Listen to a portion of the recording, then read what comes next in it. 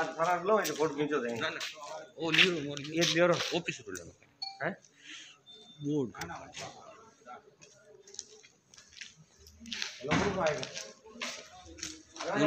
ಗುಣ ಬ್ಯಾಣ ಹೆಂಗೇನೋ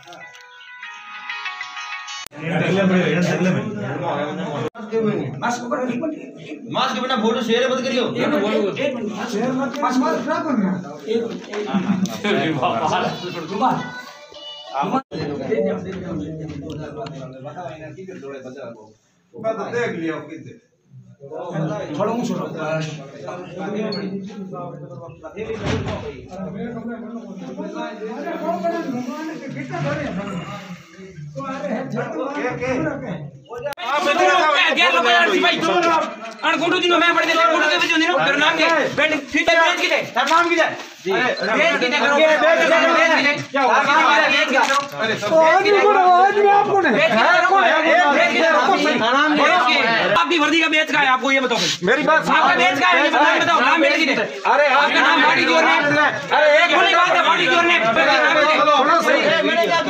के क्या लगा आपने? कैसे लगाया? एक फ़ोटो तो मैं देखो यार तो मैं चलो तो अरे एक फ़ोटो थोड़ा खुद लो सर यार कार्रवाई की लोग नाम क्या ये लगा ही नहीं अभी तक। इसको नहीं इनको बोलो मेरे इधर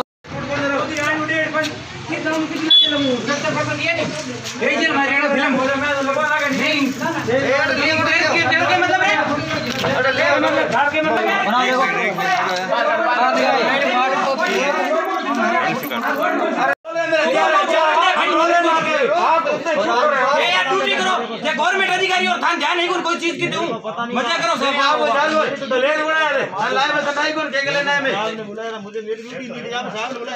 अरे भाई हाँ। भीड़ आ रही है भीड़ आज बोलो कोई नाराज़ नहीं है। मैं रहने का नहीं आज भी नहीं मैं मेरे को सामने बुलाया कि भीड़ ज़्यादा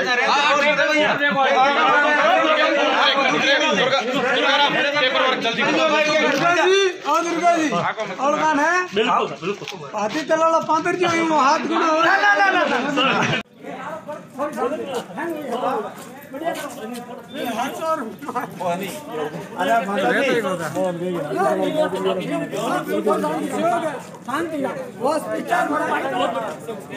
दूर पड़े भाई तेरा कोई टेंशन नहीं सब सही हो जाए क्या हुआ था? क्या पूरा मामला था? क्या सूचना थी और किस प्रकार की कार्रवाई कर रहे हम रात को मतलब खेत में निकले तो ये शिकार कर रहा था। आदमी भागते हुए हमने देखा इसको दौड़ते हुए टॉर्च लेके। हम्म, फिर हम वहाँ गए थे सड़क की साइड में गए तो वहाँ मोटरसाइकिल खड़ी थी इसकी हम्म, वहाँ गए इसके पास से एक हिरण मारा हुआ जब्त किया उसके साथ में कुलाड़ी और लाठी। कहाँ पर जब ये? भाड़खा गाँव की सरहद में। अच्छा अभी कौन था ये? कौन व्यक्ति था ये उगम सिंह नाम बताया बड़ा ही गाँव का है। अच्छा। उगम सिंह से सिंह बताया नाम इसने। अच्छा तो आपने वन विभाग को सूचना दी थी? हमने वन विभाग कंट्रोल रूम को सूचना दी बाढ़ में। हम्म। वहाँ से दुर्गाराम जी और ये अभय सिंह जी आए हम्म, सूचना के मौके पे। कब आएगा ये? ये वहीं आगे ये आधे पौने घंटे में आगे। अच्छा। फिर क्या उसको लेके आए हैं? हाँ हिरण को और शिकारी के दोनों को लेकर आए हैं। अभी बयान वगैरह दर्ज कराए हैं। द्वारा एक कार्रवाई की गई है। किस प्रकार की कार्रवाई थी? अ, किस क्या सूचना मिली थी? ये सर रात को करीब दरमियान ग्यारह बारह बजे के करीब बाड़का की सरहद में एक शिकार होने की सूचना प्राप्त हुई थी। उस पर उन्होंने विभाग की एक टीम बनाकर बाढ़ मेरसी और बाईपुर रेंज के स्टाफ के साथ मिलकर कार्रवाई तुरंत मौके पर भेजा गया। मौके पर ग्रामीणों ने शिकारी को पकड़ रखा था। उनसे जाके मौका मुआयना किया गया। लोगों से पूछताछ की गई।